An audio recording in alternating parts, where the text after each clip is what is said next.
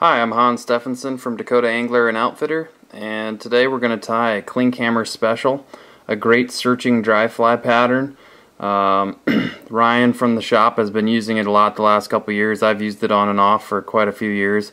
Just a great fly to have in your box to search faster moving pocket water with and even coax some uh, fish out of slower moving water. It um, looks like an emerging caddis or a terrestrial stuck on the surface film.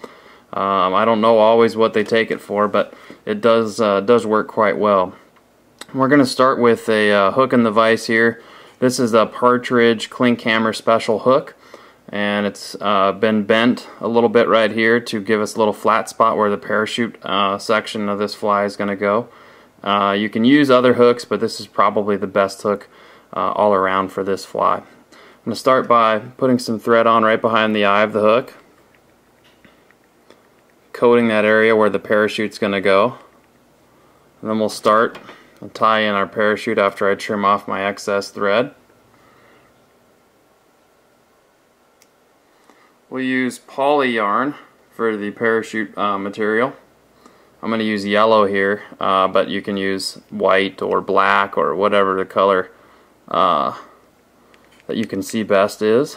I'm just going to tie that down and then stand it up Get just a couple wraps up in front of it.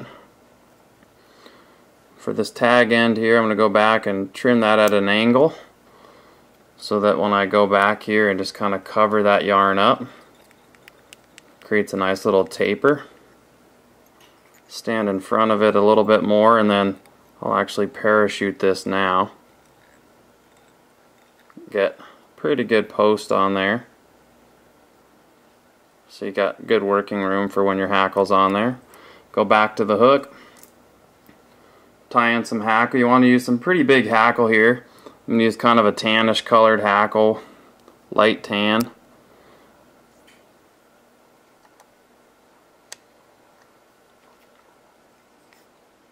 You can use grizzly or brown. Kind of play around with the color patterns. Uh, just post that onto the post after tying it down to the hook. Now we'll wrap down to the back of the hook. We'll dub our body. We're going to do two different colors of dubbing. We're going to do a kind of an amber color on this fly, but again you can vary all of this. I'm using Nature's Spirit Emergence dubbing kind of an amber color. You want got a nice tapered body to this. Bigger fly like this is going to take a fair amount of dubbing, but always start with less than you think you're going to need because you can always add more.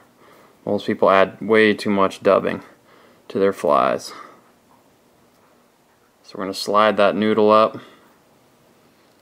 Just start at the back here. Let that get a little thicker as you go to the front of the fly.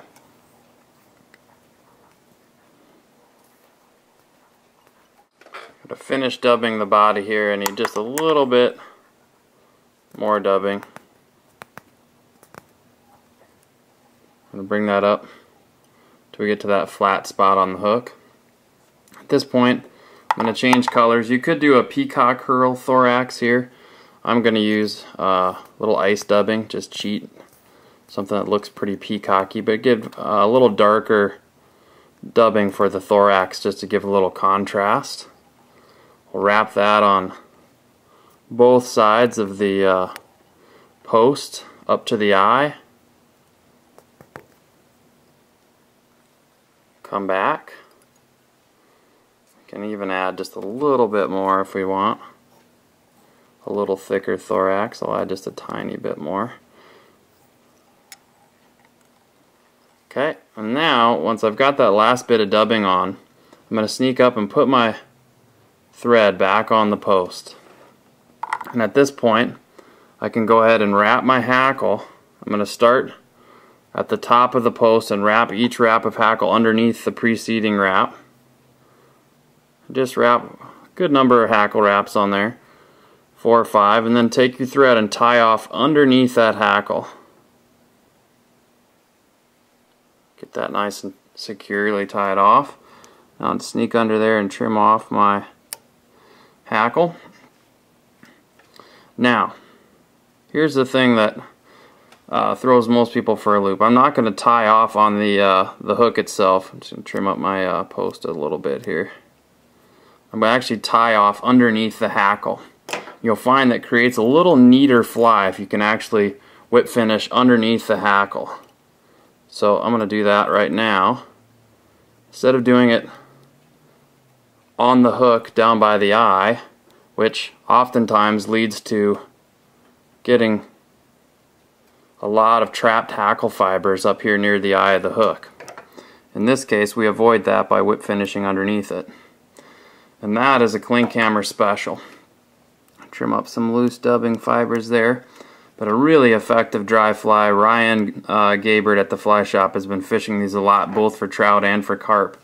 And it's just an awesome searching pattern. It doesn't have to imitate any one thing, but if you're just looking to see if there's some fish in a, a particular uh, stretch of stream, they'll often come up and take a look and eat this. So fill your boxes with these uh, for this summer, and you'll be glad you did. Again, I'm Hans Stephenson from Dakota Angler and Outfitter. Please visit the website flyfishsd.com and check out the other patterns that are uh, on the blog.